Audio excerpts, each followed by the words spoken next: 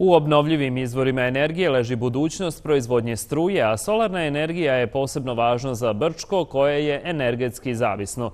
Cilj predavanja bio je da se privredi i stanovništvu približi ta tematika, da otkriju sve nepoznanice i izazove.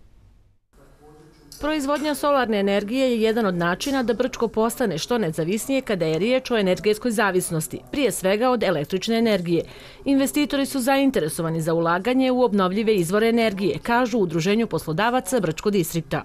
Sve više zainteresovanih e, za tu tematiku, mnogo investitora i želja je današnjeg predavanja da mi e, približimo, e, da kažem, privredi i stanovništvu ovu tematiku, da vidimo koje su tu šanse, opasnosti, izazovi i tako dalje. Definitivno e, e, tu dominira solarna energija iz razloga što ovo područje nema e, mogućnosti za, za vjetroenergiju, za, za hidro i, i ajde, geotermalnu mislim da, da, da u Brčkom nema tih kapaciteta, tako da je solar jedna od naj, e, najatraktivnijih. Praksa generalno je pokazala da je da kako ulaganje u obnovljive izvore, generalno solarne elektrane, isplativo.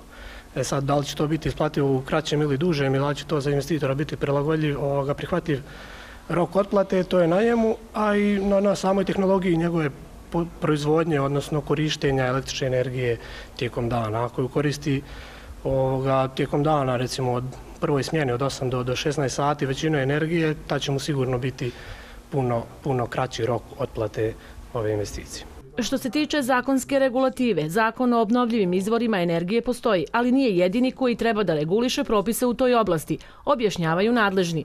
Dodaju da se trenutno radi na donošenju zakona koji su potrebni. Nije to samo uzeti, staviti panele i proizvoditi struju i stavljati u mrežu. Znači, to djeluje vrlo pojednostavljeno. To baš nije tako. Nije to tako ni u Republici Srpskoj, ni u Federaciji, pa nigdje ni u svijetu.